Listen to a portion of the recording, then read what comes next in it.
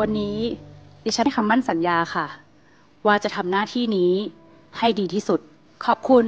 ท่านอดีตนายกเศรษฐาทวีสินที่ท่านได้ทุ่มเท แรงกาย แรงใจ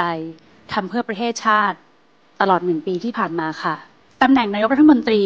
เป็นตำแหน่งที่มีความรับผิดชอบที่ยิ่งใหญ่ พาประเทศชาติ ผ่านอุปสรรค ผ่านปัญหาต่างๆ และดิฉันตั้งใจค่ะ ว่าการได้รับตำแหน่งนี้ ดิฉันมีความมุ่งมั่นในการทำให้ปากท้องของพี่น้องประชาชนดีขึ้น สุดท้าย ดิฉันอยากจะขอขอบคุณ พลังที่สำคัญที่สุด พลังอันยิ่งใหญ่ นั่นก็คือพลังของพี่น้องประชาชนค่ะ ทั้งที่เลือกดิฉัน และไม่ได้เลือกดิฉัน ดิฉันขอสัญญาว่าจะทำหน้าที่นี้อย่างเต็มความสามารถ โดยที่ไม่มีการ แบ่งแยก ความแตกต่าง ทุกเพศ ทุกวัย ทุกความหลากหลาย ดิฉัน